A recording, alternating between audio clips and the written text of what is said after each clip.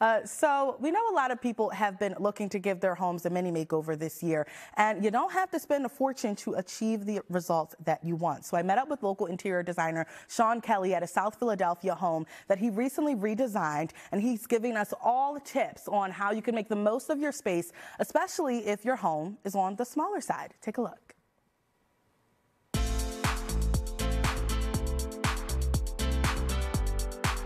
We are in 2024, and a lot of people have things that they're still checking off of their New Year's resolution list. For some people, it might be giving their home a makeover. And I hear you're the guy to go to. I'm the guy. when the it's guy. time for us to do that. Absolutely. What are you seeing this year in 2024 when it comes to home redecorating trends? Um, a lot of home redecorating is um, neutrals. I'm seeing a lot of the lighter colors go out and the darker colors come back in Oh. and kind of blending it and blending it and add a little splash of something bright too. Otherwise, if you're just looking to do like a little redecorating, I say go to the family room, change up some pillows, change the rug, change the lamps. It'll really make the space look completely different. Well, you've already made it happen. We're here in this gorgeous Yes. home in South Philadelphia. You're from Philly, right? I'm from Philly, yeah, South Philly. And South Philly row homes, a lot of them are initially are closed in. This house specifically was closed off. The front porch was closed off. The family room was closed off. The kitchen was closed off. So a lot of what we're seeing, and we've been seeing this forever, is open concept homes. Mm. So starting with breaking down the walls and kind of seeing what space you have to deal with. So we're in the kitchen. This kitchen is beautiful. what would you say is on trend right now this year that we can see in this home? Well, absolutely right off the bat, when you come into this kitchen, you kind of look at the appliances, um, the cafe appliances, and adding some contrast in with them really elevates the kitchen. What about some decorative pieces Yes. to help elevate your kitchen? Things that you can buy at, you know, your local store. Yeah, I wouldn't add too much. A kitchen's supposed to be pretty simple, but adding bits and pieces of artwork here and there, it's, it just, you know, makes it homey.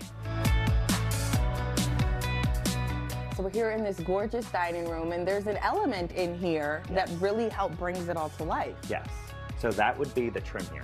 So this is a board and batten trim, and this is timeless, but we're seeing it a lot in a lot of new homes. So instead of just doing a typical baseboard, you add trim here, and this home has smaller ceilings, so it just makes it look a lot bigger in here, and it kind of elevates the whole look of the room.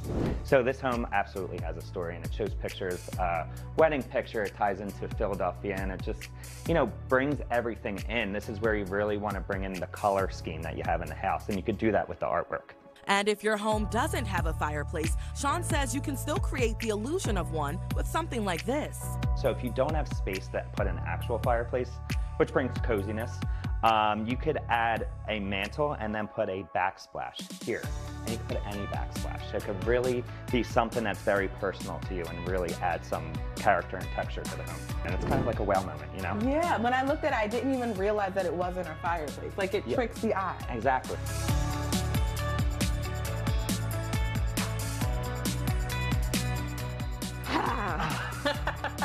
That feels good. This is That feels nice. good.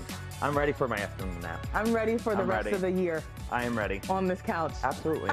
Thank you, Absolutely. Sean. These are Thank great you. tips. I appreciate it. Thank you. Ah, so much fun. So if you want more home redecorating tips from interior designer Sean Kelly or to shop his home goods store, Dune in Cape May, just head over to NBC10.com slash find it on 10.